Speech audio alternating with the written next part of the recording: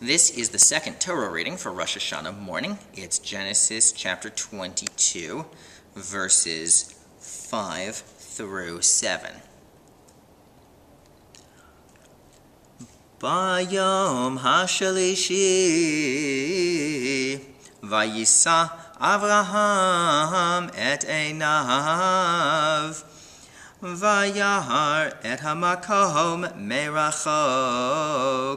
ויאמר אברהם אל נעריו, שבו לכם פה עם החמור, ואני והנער נלכה עד כה. ונשתחווה ונשובה עליכם.